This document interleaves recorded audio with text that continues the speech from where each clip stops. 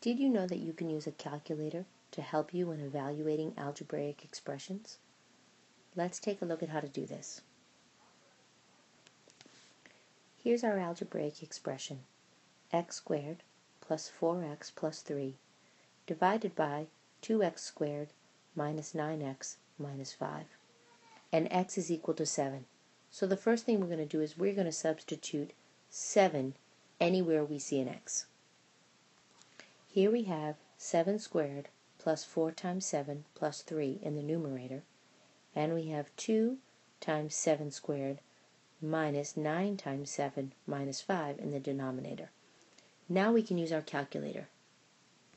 One of the most wonderful things about the calculator is we can actually put all of the numerator into the calculator simply by entering it.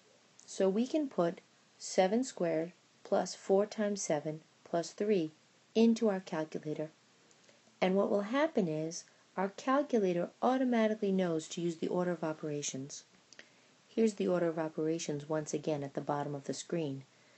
Parentheses, exponents, multiplication and division in order from left to right, and addition subtraction in order from left to right.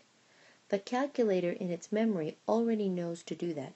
So when you put this whole first part of the algebraic expression into the calculator, it will solve it according to the order of operations. And when we evaluate the numerator, we have an answer of 80. Now I'm going to write in the denominator because we haven't worked with that yet. So we have 2 times 7 squared minus 9 times 7 minus 5 in the denominator. Next, we're going to take this whole quantity and put it into the calculator. And again, the calculator will know to use the order of operations to solve it. So when we do that, 2 times 7 squared minus 9 times 7 minus 5 is going to give us 80 in the numerator and 30 in the denominator. Now, if you weren't using your calculator, you would have to do this math the long way. And we would do 30 divided into 80.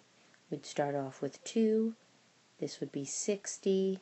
Bring down the 20. Decimal 0. Bring down the 0. And on and on and on and on. However, by using the calculator, we can do the simple division.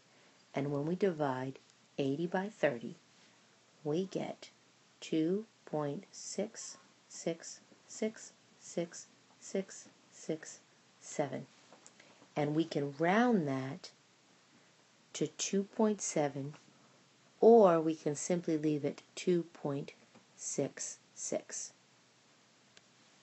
Using the calculator has supported us in evaluating the algebraic expression.